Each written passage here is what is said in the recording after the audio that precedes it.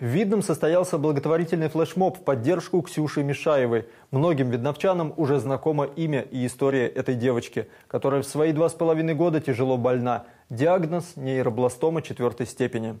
Десятки людей собрались у кинотеатра «Искра», где каждому вручили воздушный шар. У нее очень тяжелая болезнь. Ей нужна поддержка каждого из вас и ваши добрые сердца.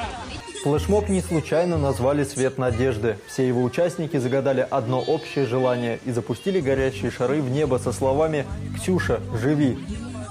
Кроме того, каждый желающий мог оставить в специальном боксе для сбора средств любую сумму денег. В этот вечер удалось собрать 42 тысячи рублей. Они пойдут на лечение девочки. Каждый, кто хочет помочь Ксюше, может перечислить деньги на банковскую карту, номер которой вы видите на экране.